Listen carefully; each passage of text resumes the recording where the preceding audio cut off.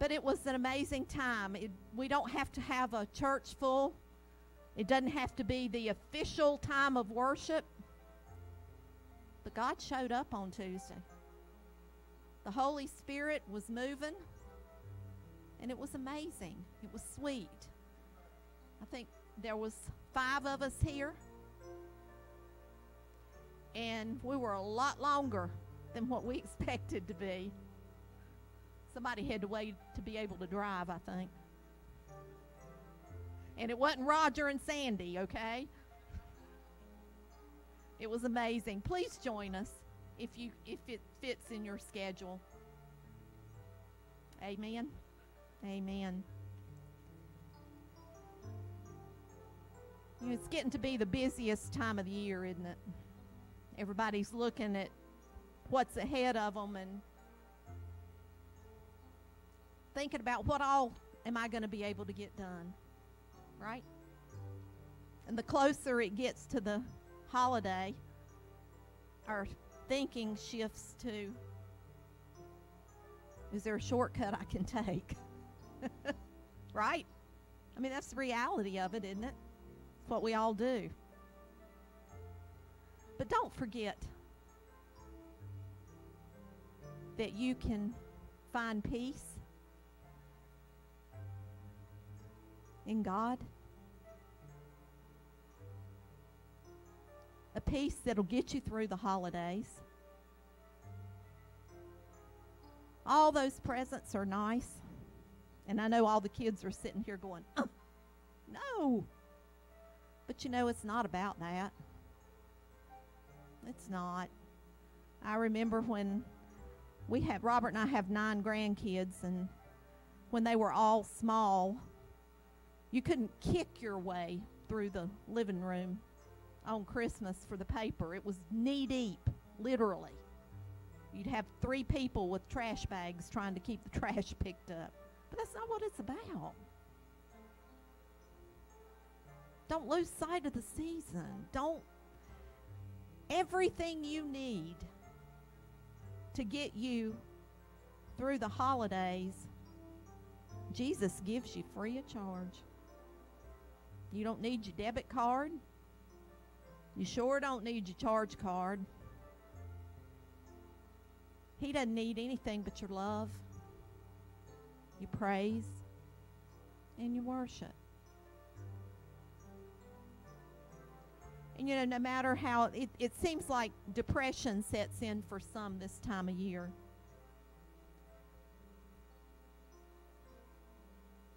But you can fight any level of depression with God. He knocks it clean out of the park. It won't matter.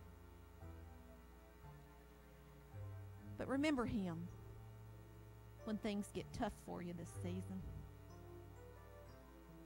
It's the greatest season of the year. It's awesome. Right? It is. It's amazing. The wonder that is in a child's eye on Christmas. Knowing that they believe in something. I have the word believe on so many places in my house. I was looking the other day and I got tickled that if you walk in my house and don't know that I believe in something, something's wrong. You can't read.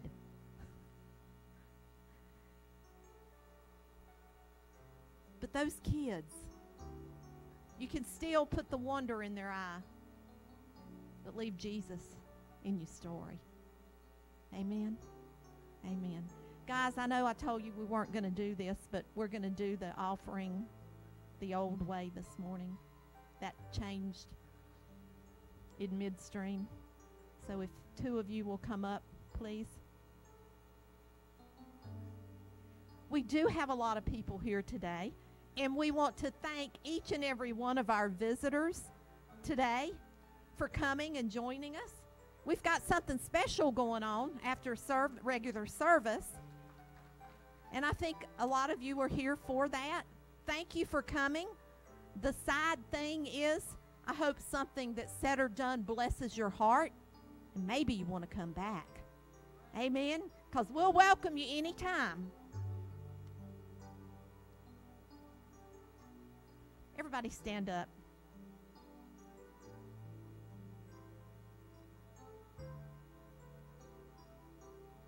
Let's all say the Lord's Prayer this morning in unison, please.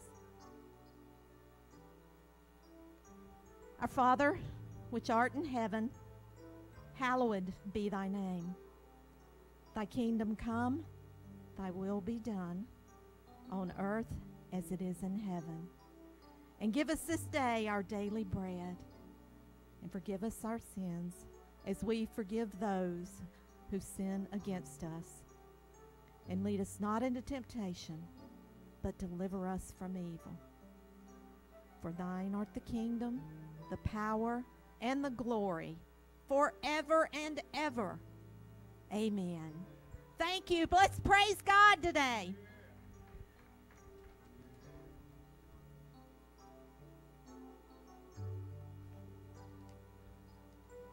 Marty, Angela, y'all come here. Jerry, Frank, y'all come on up here. Mm.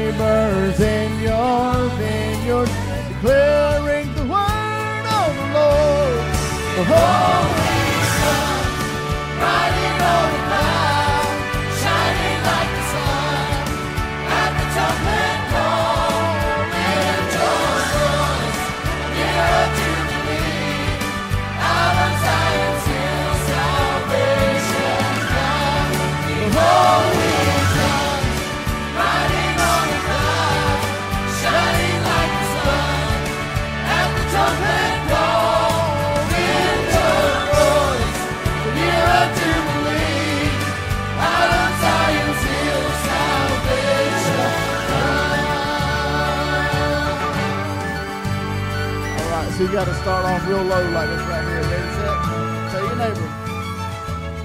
There's no God like Jehovah. There's no God like Jehovah. There's no God like Jehovah. There's no God like Jehovah. Little bit louder now. There's no God like Jehovah. There's no God like Jehovah. There's no God like Jehovah. There's no God like Jehovah. Louder. There's no God like Jehovah. There's no God like Jehovah. There's no God like Jehovah. There's no God like Jehovah. There's no God like Jehovah. There's no God like Jehovah. There's no God like Jehovah. Holy God,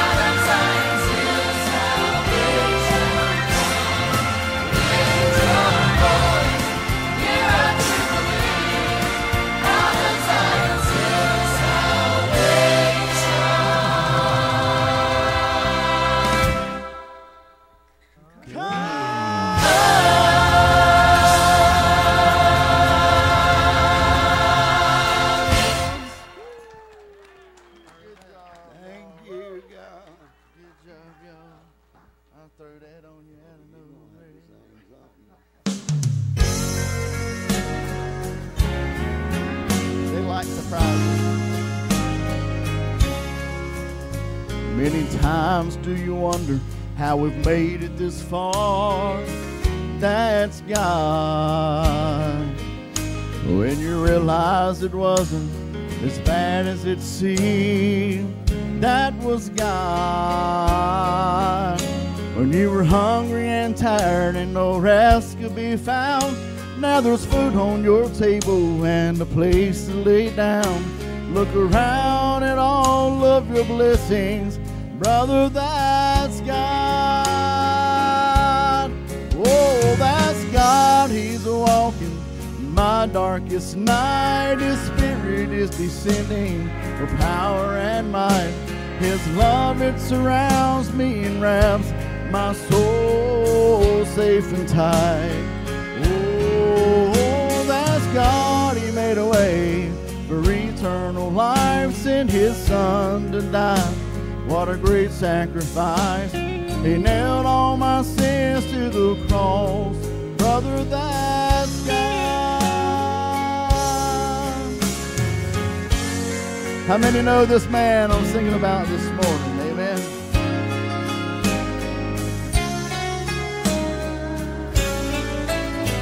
When you're fighting of that sickness, oh, that was God.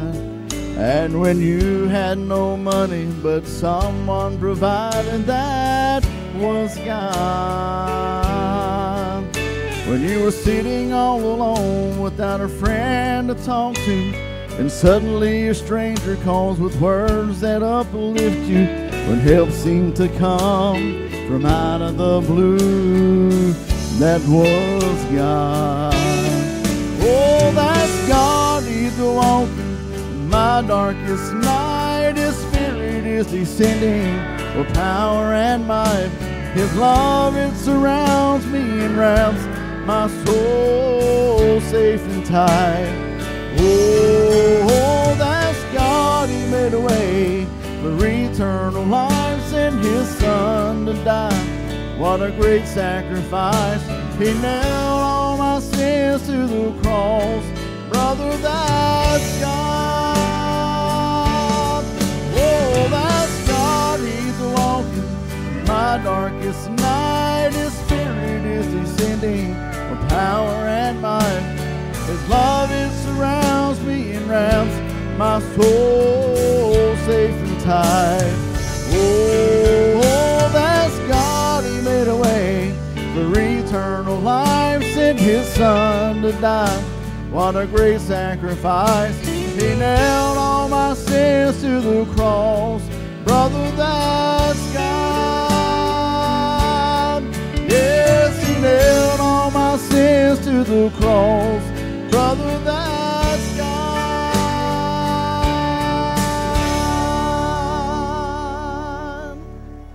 Amen.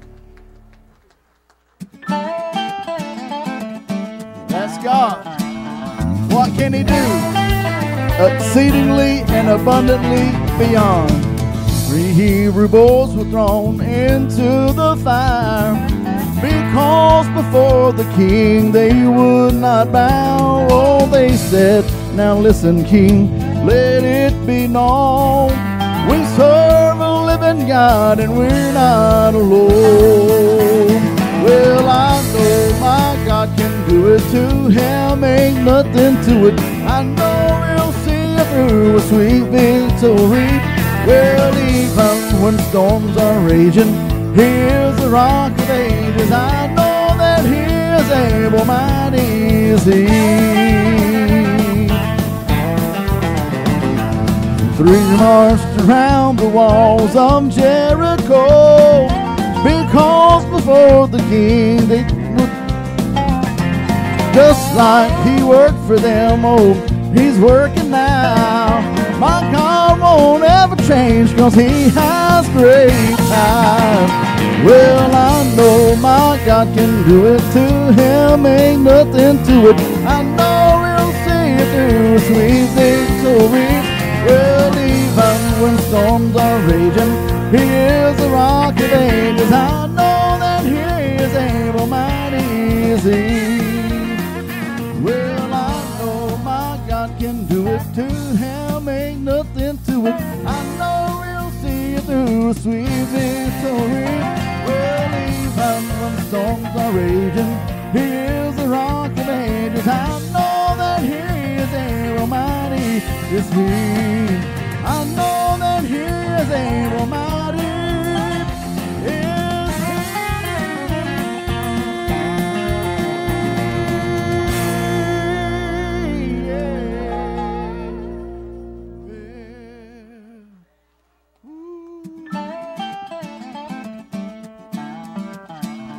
Somebody said, shake the tree one more time.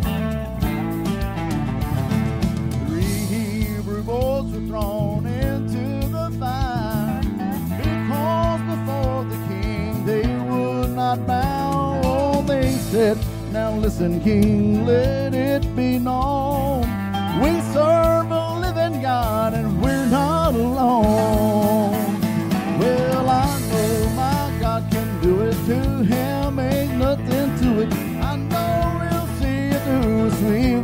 Victory. Well, even when storms are raging, he is the rock of ages. I know that he is able, mighty is he. They marched around the walls of Jericho.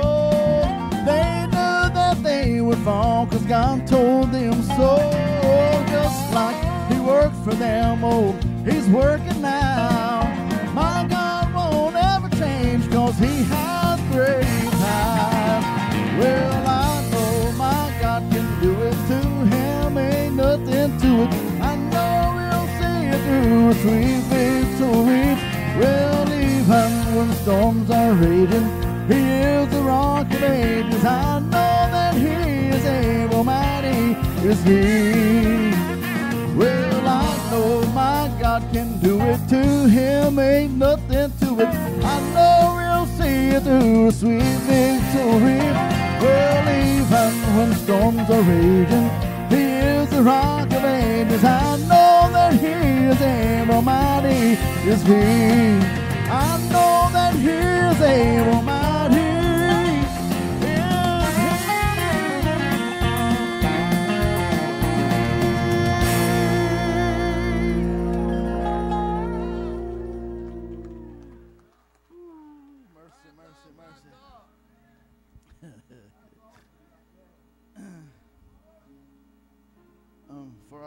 visitors that are here this morning, you said, What we done got ourselves into. This is a place of worship. Hello, somebody. And our God is not dead, our God is very much alive. And we come to worship Him with everything that is within us. Hello. When I was living in sin, I raised teetotal hell. You hear me? Come on, church. Right or wrong. You went to the bar room, you went to the honky tonk, you went to the country music concerts, and you screamed and yelled to the top of your lungs. You danced all night long. The bubba shot the jukebox, and you was drunk on something other than the Holy Ghost.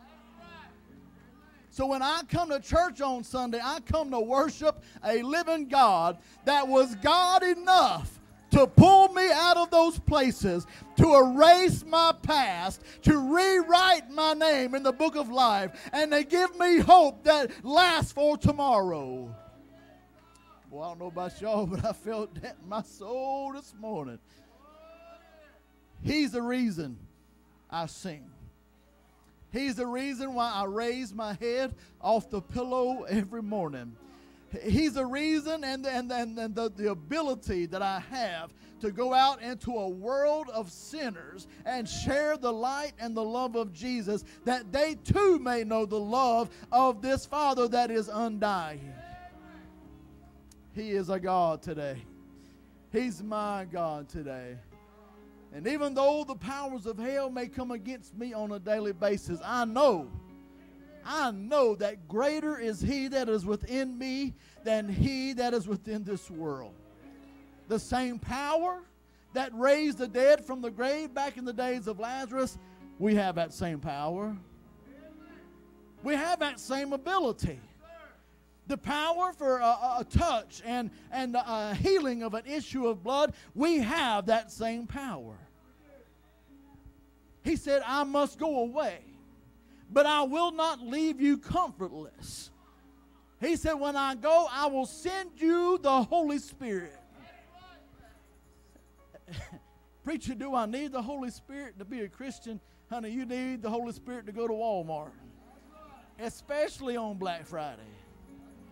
We need the Holy Spirit to be our conscience and our guide, to lead us, to feed us, and most of all, to shelter us from the storms of this life.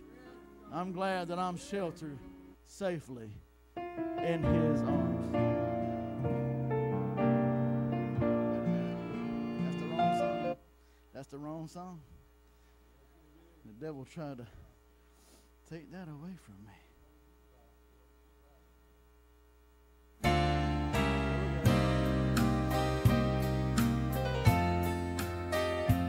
Why do we come to church and act the way we act? Here's why. I feel the touch of hands so kind and tender. They're leading me in the path that I must trod. I have no fear, Jesus walks beside me.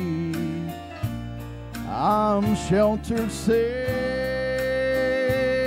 within the arms of God. So I tell the devil every morning, let the storms rage high, the dark clouds rise, they don't worry me because I'm sheltered safe within the arms of God. I know He walks with me, and not on earth can harm me.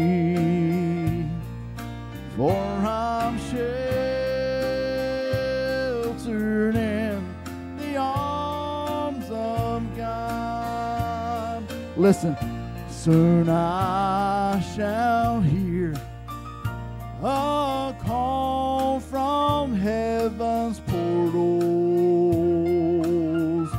Come home, my child. It's the last mile that you must trot. But listen, there's no pain. I'll just fall asleep and then I'll wake in God's new heaven. And over there I'll be sheltered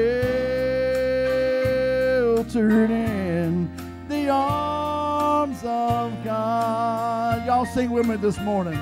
So let the storms range high and the dark cloud rise. They won't worry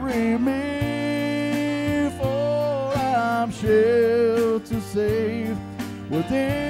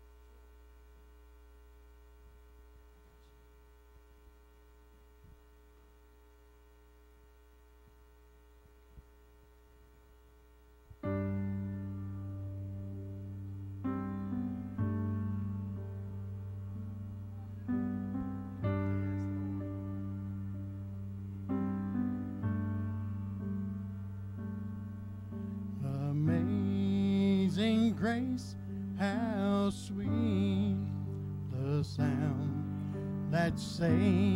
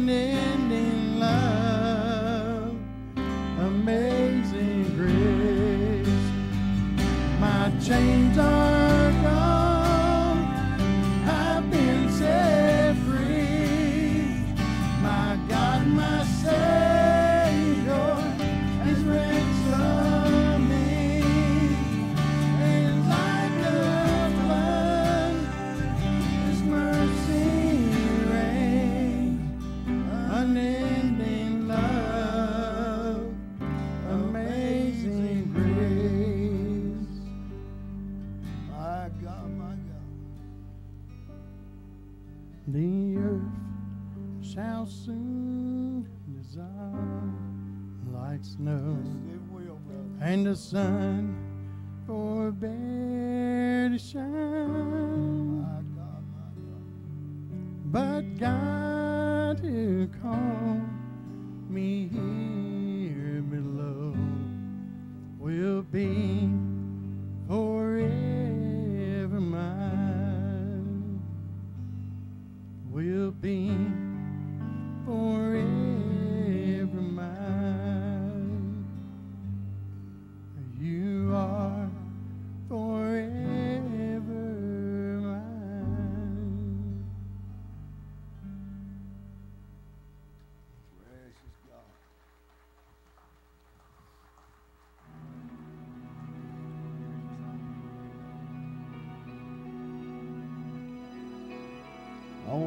everybody to listen to the words of this song. I dedicate this to all of you this morning.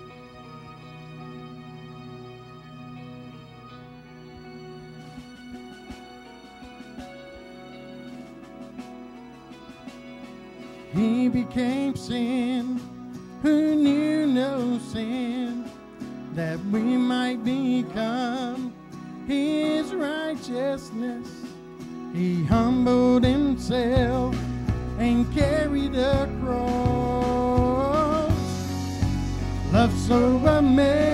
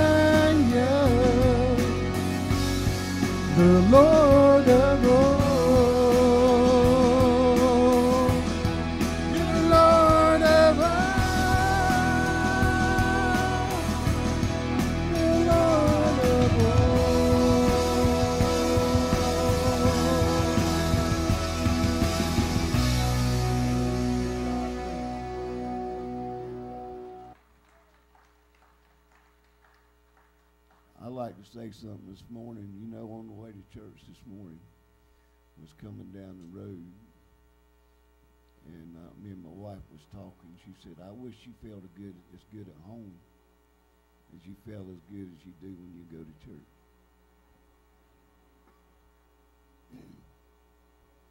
I can tell you, well, I can have a better time at church because the devil can only run me as far as the house of God.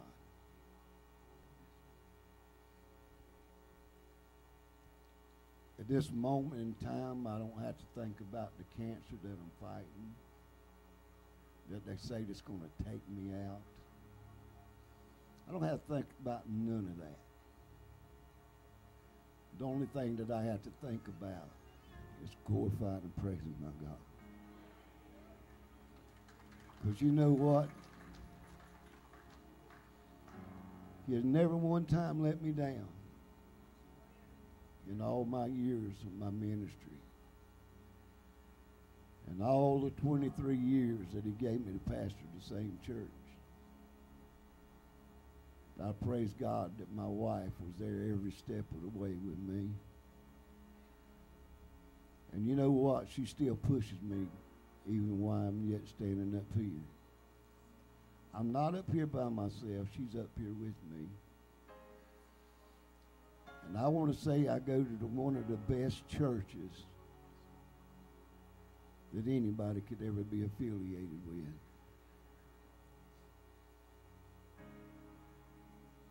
I got the best pastor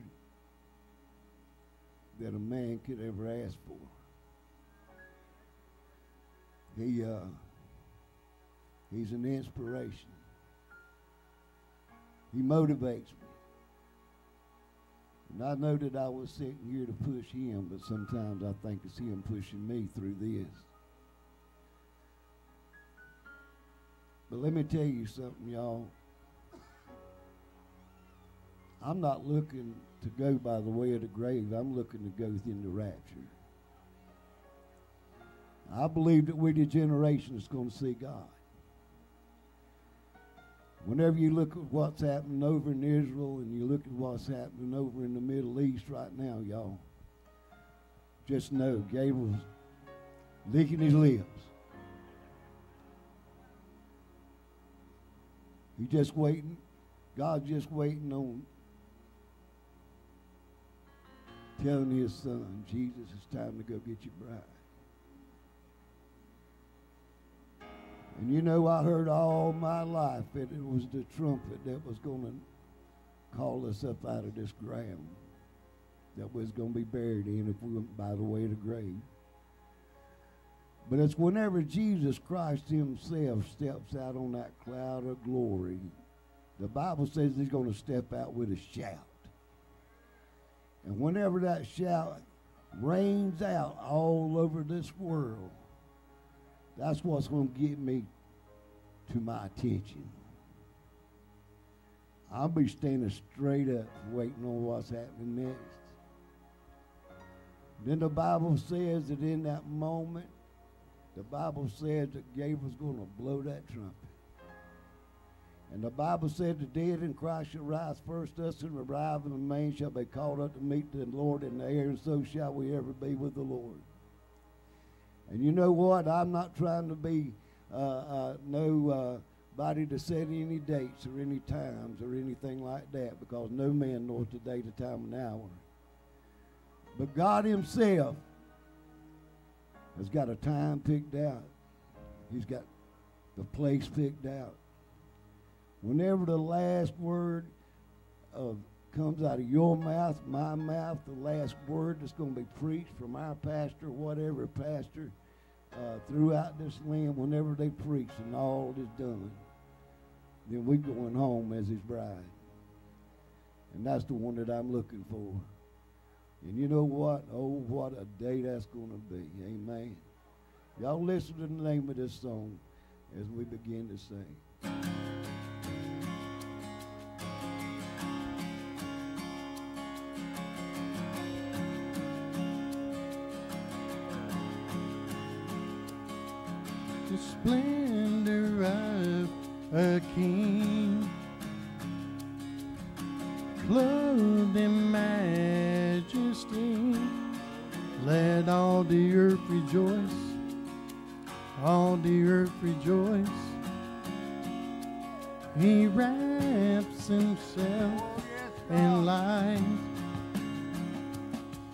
And darkness tries to hide.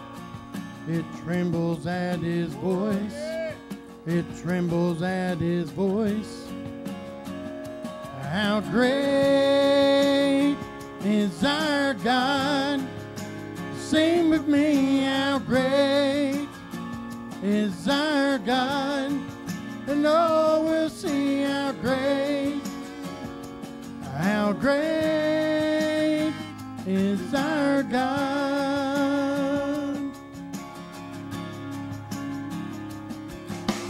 age to age he stands,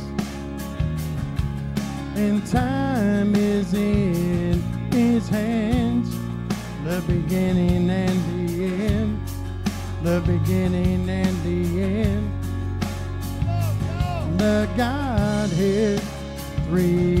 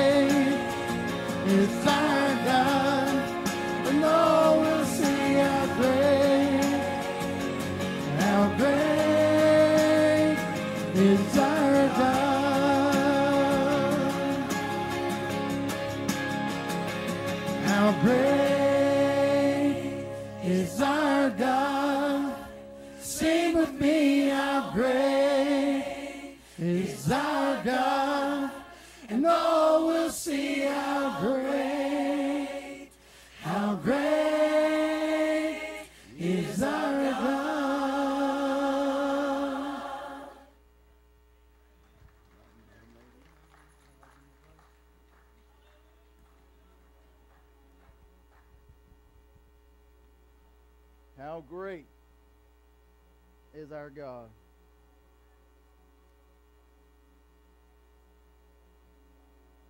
You know, when the psalmist David wrote the 23rd Psalms, he said, The Lord is my shepherd, and I shall not want.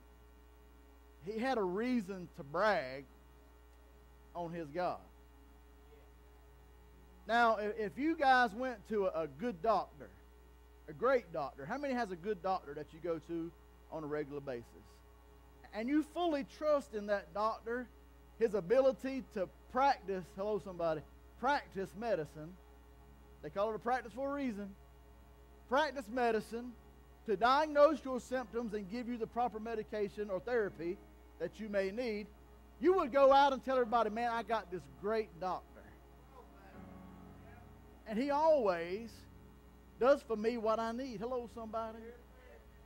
He- knows, he knows what's wrong with me when I walk in the door. He knows what I need when I sit down on that table.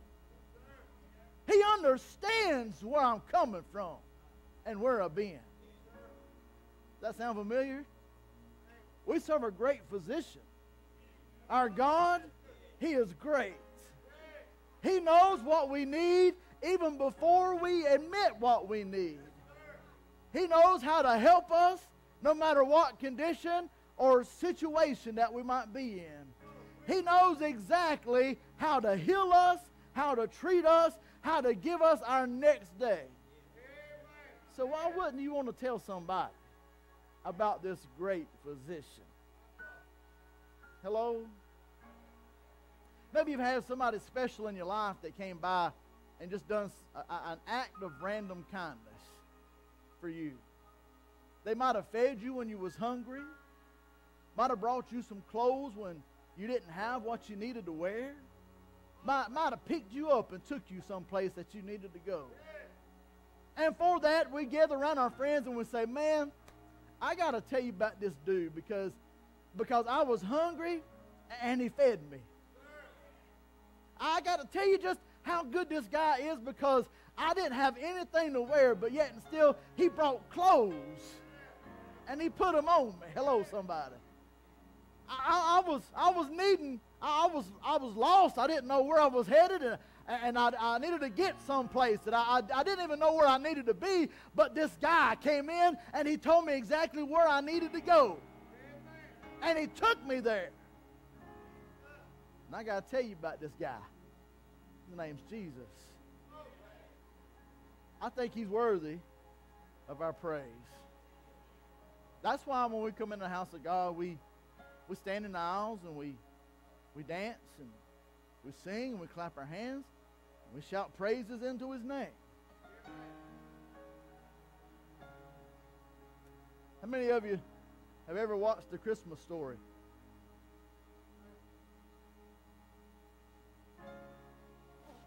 My trusty Red Ryder BB gun with a compass in the stock and this thing which tells time. That's Ralphie.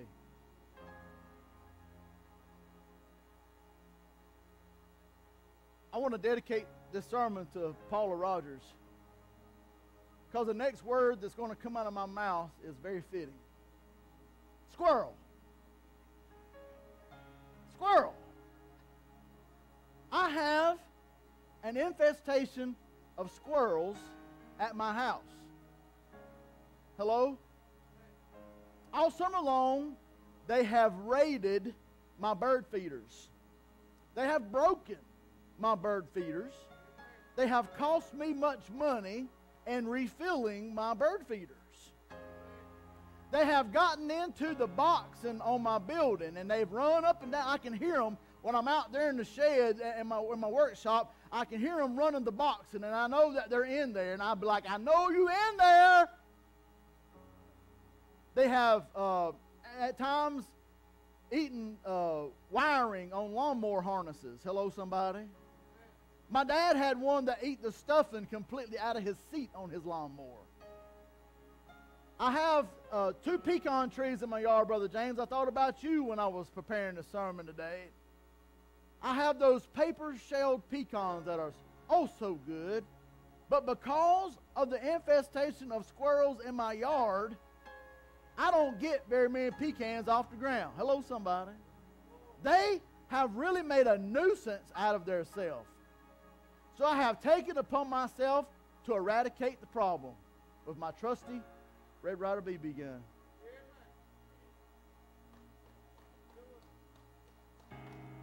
Thank you. Thank you very much.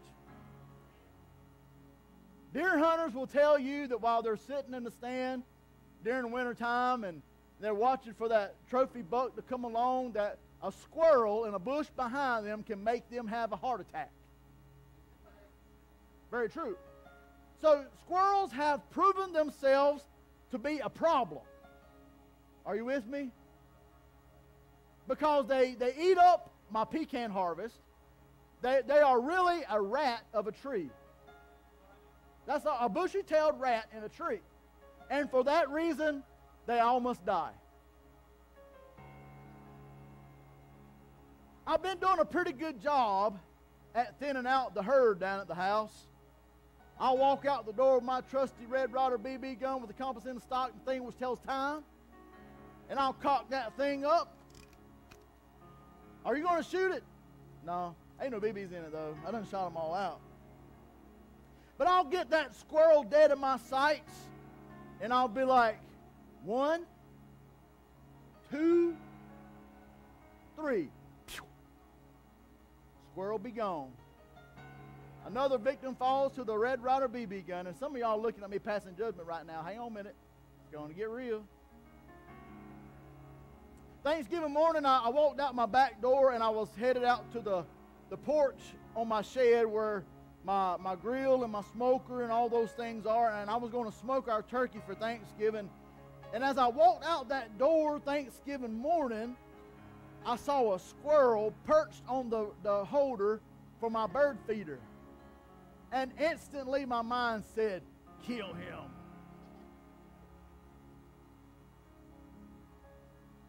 And I said, yeah. He might be the one been eating my pecans this morning. Hello, somebody. He is guilty even before his trial. And when I get the sights of my Red Ryder BB gun on that joker, I'm going to take him out. For he has committed a wrong. And he must die. So I reached back for the handle of my storm door. And the Spirit of God said, Let him live. And I said, Wait a minute. He's out here, he, he's a tyrant. He, he's been one that's been guilty.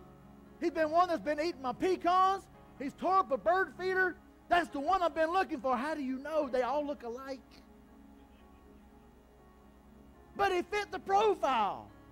He was a fuzzy tailed rat of the tree, and I'm pretty sure I've seen this joker before. He made himself right at home perched on top of my bird feeder holder. And so I was going to kill him, but God said, let him live. It's Thanksgiving Day. And everybody gets to eat a buffet on Thanksgiving Day. And I said, okay, God, for you, I'll let him live. He was pardoned on Thanksgiving Day. Let's look at the Bible in the book of Romans, chapter number 3. Starting in verse number 10. Y'all, y'all, y'all stay sitting down. This is going this is going to be a minute. I appreciate your respect to the Word of God. But let's just let's just take this one verse at a time for a minute. It is written, there is none righteous. No, not one. Do y'all understand what that is saying? Nobody is perfect. Nobody. I, I stand before you today and, and I'm bringing you this message as the pastor of this church, and I will tell you that I am not perfect. Probably far from it, to be honest with you, because there's things every day that I should do that I don't do. And there's things that I should not do, but I do. And because of that, I have done wrong. Hello, somebody. I have two dogs at home, Lucky and Diesel. Lucky is a one-year-old Dalmatian, and Diesel is a two-year-old pit bull. And those jokers get on my aggravating last nerve sometimes. Heather wants me to get rid of them. She really does. She hates my dogs, except for when she's cold and she can get Diesel to sit on her lap and keep her warm. But when they get to acting up, I'll, I got these shock collars, and I'll, I'll go get those collars out and I'll put them on my dogs. And do you know those dogs know when they have those collars on? Because they are a different creature. They, they almost instantly begin to behave because they know what the repercussions of their disobedience is. Hello? That, that means they know to do right, but they don't do it unless they have those collars on. And then they know how to walk the walk and how to talk the talk.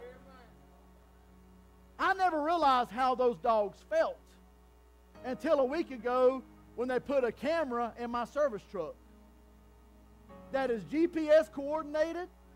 It can tell you if I run a stop sign. It can tell you if I break the speed limit. It can tell you if I yawn because if you sleepy driving, that's a that's a mark. Hello, somebody. It's got a camera that faces forward and a camera that faces back. And so sometimes, just for fun, I'll go down the road like this right here. Just so that I do. Because I want to know if they're watching. Hello, somebody. The other day I pulled up at the fire department and there's this big oak tree there. And that camera picks up if you hard brake. So I pulled up real slow toward that oak tree and then I jammed the brake like that so the camera would come on and they thought I hit the oak tree. Amen. That's just some fun I have with the camera. But I know that there's always somebody now watching. And there's repercussions. I now know what my dogs feel like when I have that collar around their neck. I know that if I mess up, that somebody's watching and I'll face the repercussions of what my behavior is. Hello? Kind of sounds familiar, don't, don't it? The Holy Spirit of God is an ever present thing. It is very present. And it's, it's with us every day of our life, and it's always watching. He's always watching. He, he, he knows what we need before we need it. He, he knows what we've done before we do it. He knows our thoughts. He knows our words. He knows our intentions. He knows our hearts. And because of that, we need to be careful. We need to have respect for the Holy Spirit of God and not take him anywhere he don't want to be? Not do what he don't want us to do? To act according to what his word says. Because there is none righteous. No not one.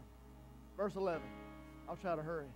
There is none that understandeth there is none that seeketh after god. That kind of sounds like the day and age of what we're living in People are seeking after so many things, and it's other things than the Spirit of God. People are, are looking for answers, but they're looking for answers in all the wrong places. They're, they're looking at Google, they're looking in science, they're looking in politics, they're looking in drugs, they're looking in alcohol, they're looking in everything except for the place that holds all the answers. They want to know what's going on in the, in the world today. If you open up the Bible, you will see what's going on in the world today.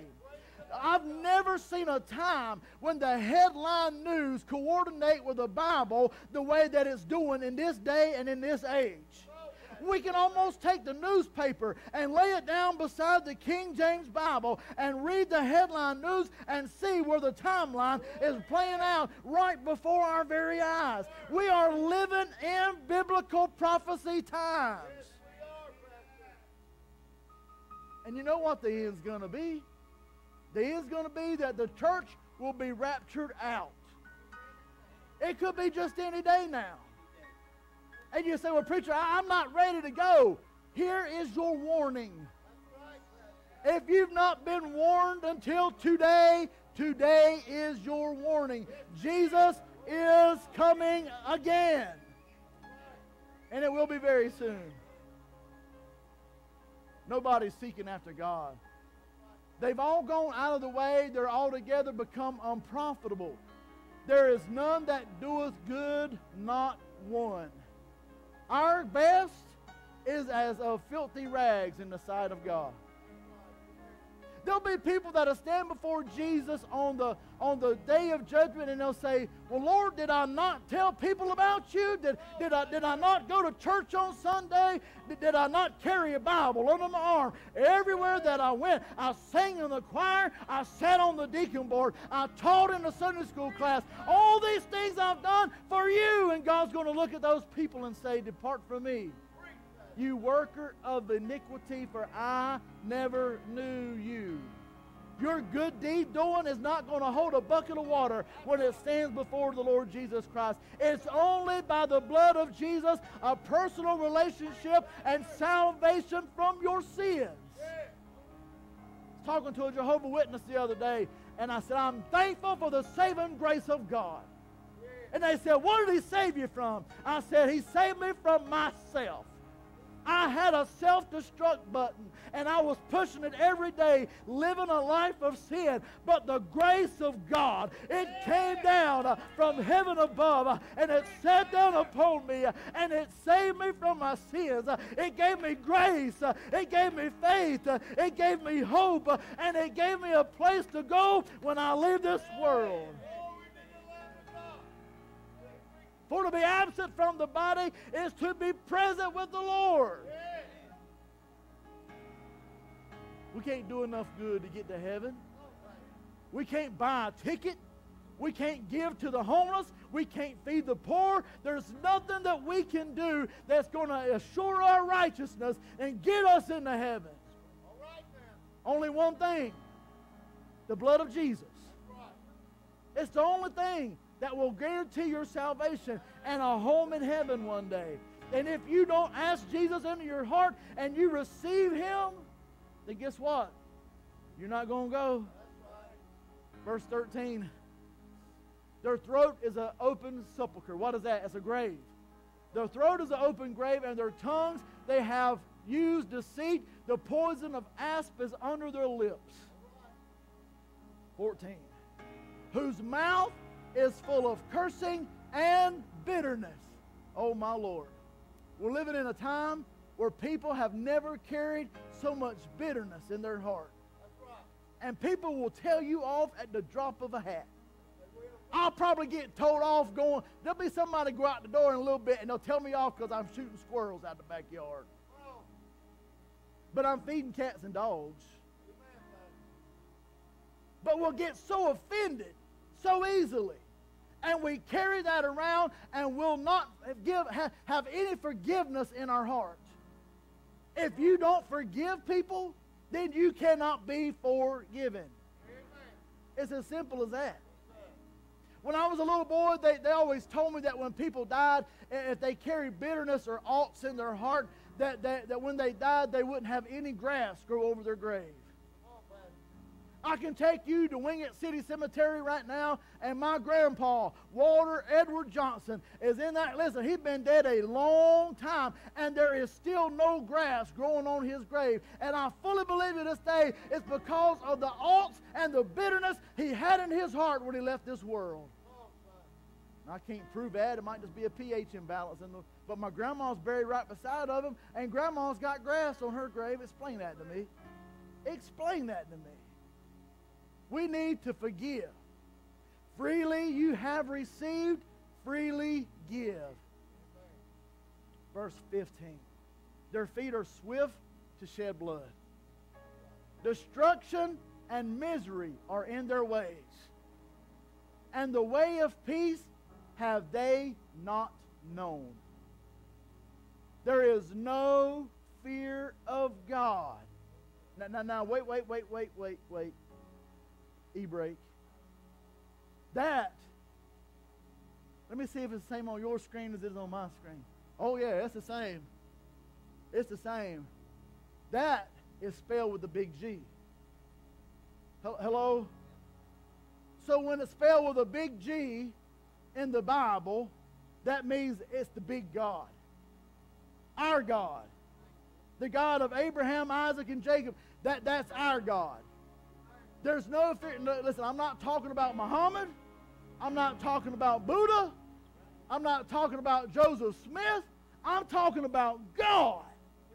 The God. There is no fear of God before their eyes. Parents, how many times have you went to whoop your kid? And in your mind, you got your mind made up, I'm going to put the fear of God in this joker right here. Hello? I'm going to put the fear God in you, boy. I've heard that too many times. My daddy has, has grabbed me, Brother Willie, and whooped me in a circle so many times, and the whole time he's saying, I'm going to put the fear of God in you, boy. And I'm still afraid of God to this day.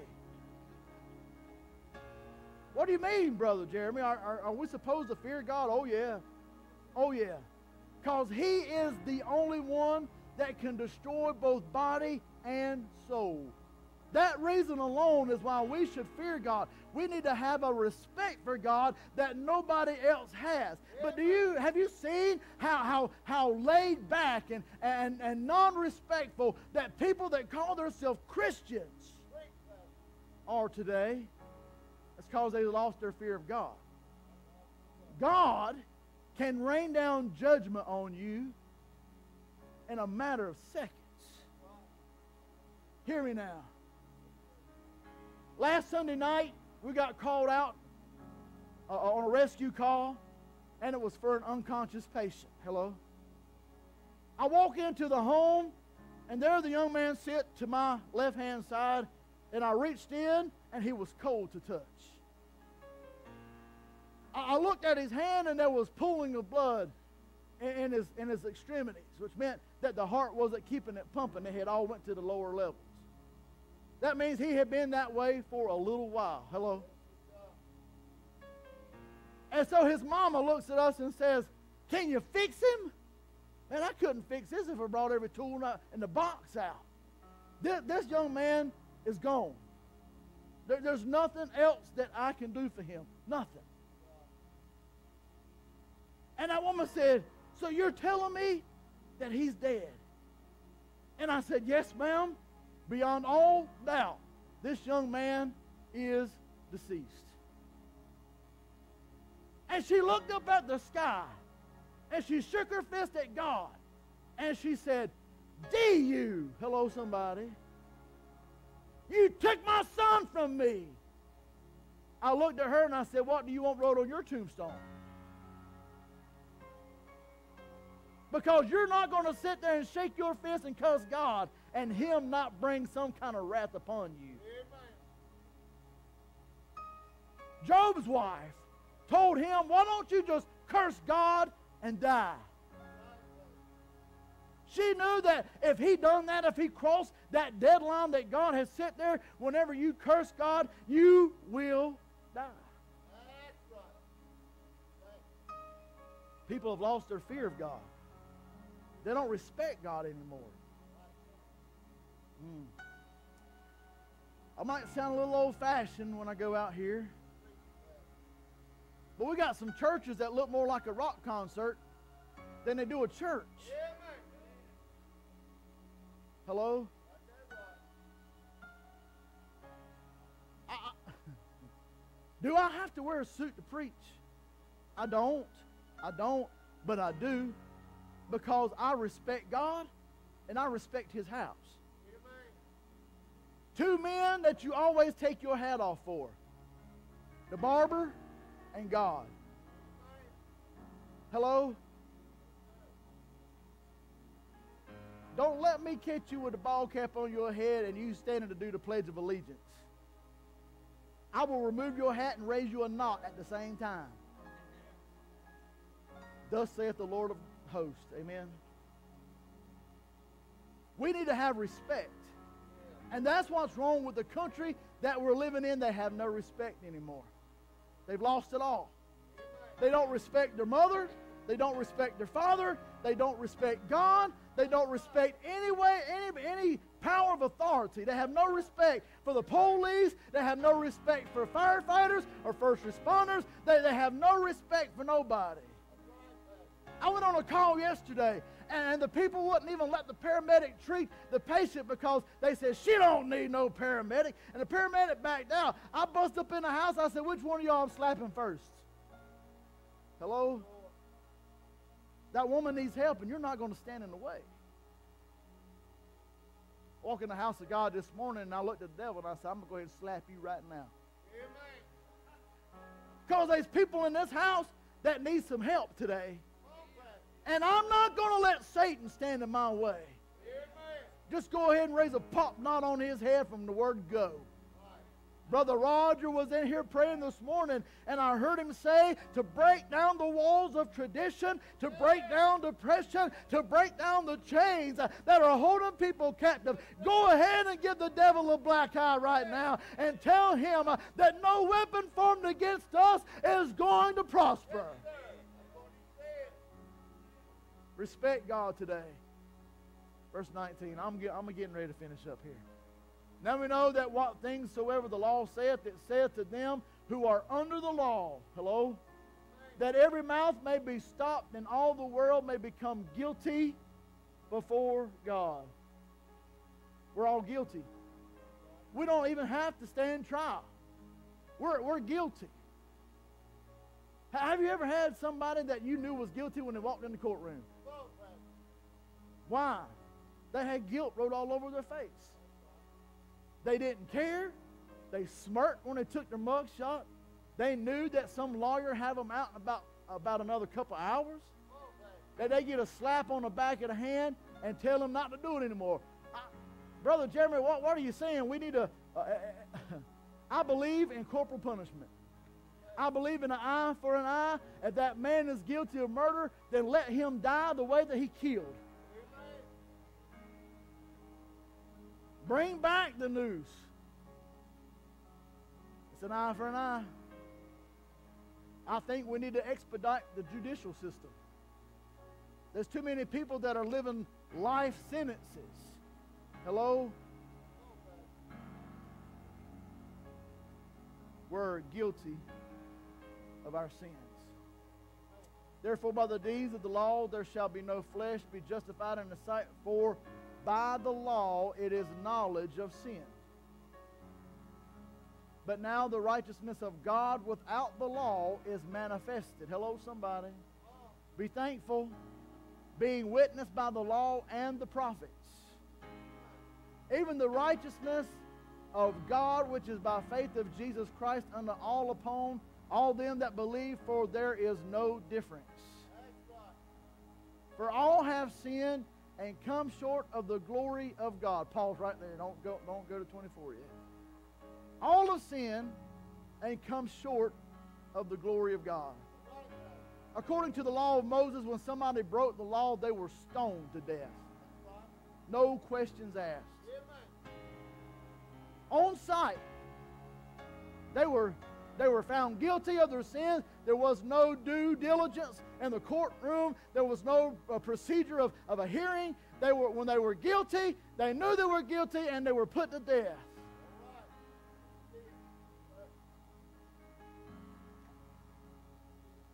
Kind of like my Red Ryder BB gun, shooting the squirrels. I didn't really see that squirrel eating a pecan, but he was guilty by association because he was a squirrel. Hello? That means that all of us in this house would be stoned to death because we're guilty by association. We are flesh, we're flesh. And because we have flesh and we have blood and we have a mind and a will of our own, hello, somebody, we have sinned and come short of the glory of God. So all of you are hereby sentenced to death. The judge has ruled. Everybody line up so I can shoot you with my BB gun.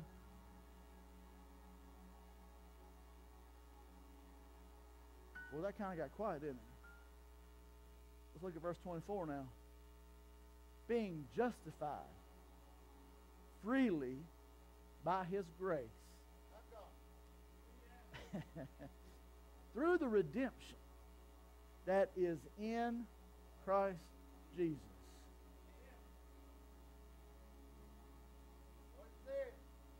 Somebody ought to be shouting from rooftops over that verse right there. Because I, who was guilty in the trespasses of my sin, guilty by association because I am flesh, and all have sinned and come short of the glory of God. By the law of Moses, I deserve to be stoned to death. But by the grace of God, I have been justified and redeemed and washed and purchased by the blood of Jesus. I have a full blown pardon. Jesus signed my pardon.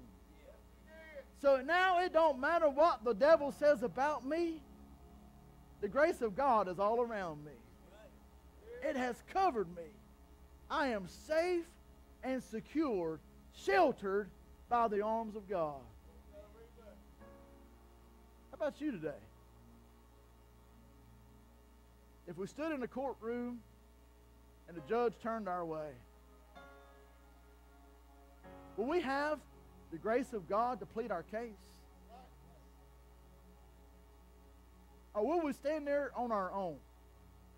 Hello, somebody.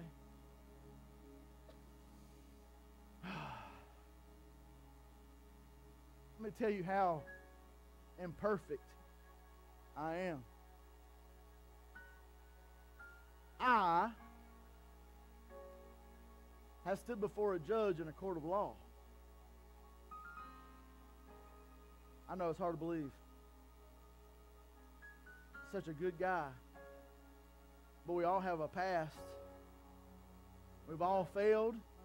We've all come short of the glories of God. I stood before that judge, and the judge turned my way and said, How do you plead?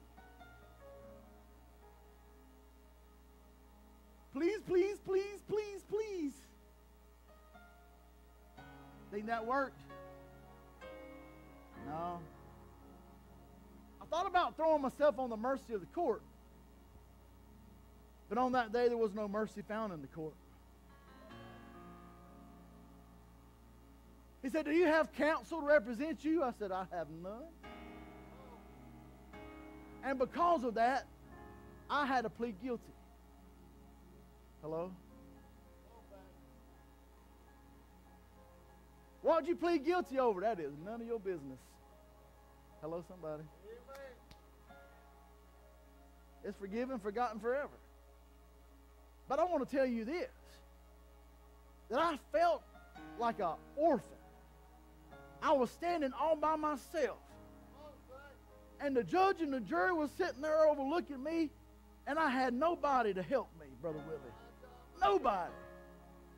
Nobody. Nobody come to rescue me. Nobody come to represent me. I was standing there on my own.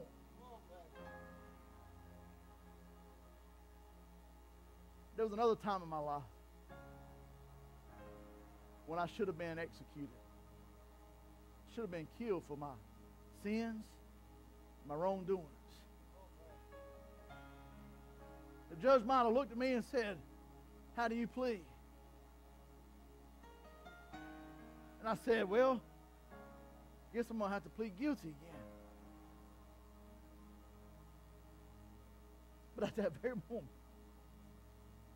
it's when the mercy of God walked in. I stood before that judge, and the mercy of God walked in. And he said, Brother Jeremy, I'll plead your case. So then, between me and my judgment was the mercy of God. Hello, somebody. When judgment come my way, mercy spoke up and said, Wait just a minute. He's mine. I bought him. Whatever he's done wrong, I'll take the blame. Whatever wrong he's done, that's on me. That's why he went to Calvary. He took my place. He died so I didn't have to. When judgment came, mercy walked in. Thank you, my brother. Aren't you glad today to know that all of your past is covered under the blood of Jesus? When you stand before the judgment bar of Christ and it seems like you have no representation, that's when Jesus will walk into the scene. He'll say, This one's mine. I freely signed his pardon. He deserved to die. That squirrel deserved to die. But God said, Pardon him. Pardon that squirrel today. Now I'm going to go home. My wife is going to make me unload the BB gun and start feeding the squirrels. Hello, somebody. Next time I go to reach for my Red Ryder brother Jerry, my wife's going to look at me and say, Mercy walked in and pleaded my case. Brought to the stand was God's saving grace. And I'll have to lay my BB Rider, my Red Ryder BB gun down. Just like Abraham when he laid his Isaac down. I just have to feed the squirrels and live in harmony with the earth, I guess, right? How many squirrels do we have in the church today? Paula raised her hand. Brother Tom raising his hand. You see, we're, we're all squirrels. We all deserve to die because of the wrong that we've done in our life. And just because we're flesh. And we know by the scriptures that all flesh have sinned, come short of his glory.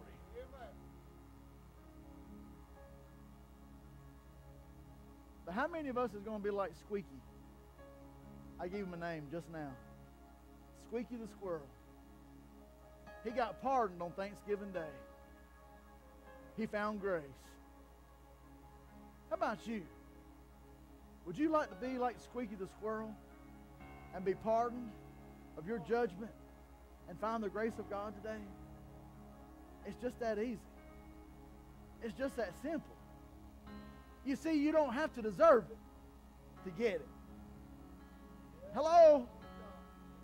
You don't have to be able to afford it to get it. You don't have to you don't have to go back and undo the wrongs in your life to get it. All you have to do is be present and say, I want Jesus to be a part of my life. And mercy can walk in for you too. Mercy can take your place. Every head bowed.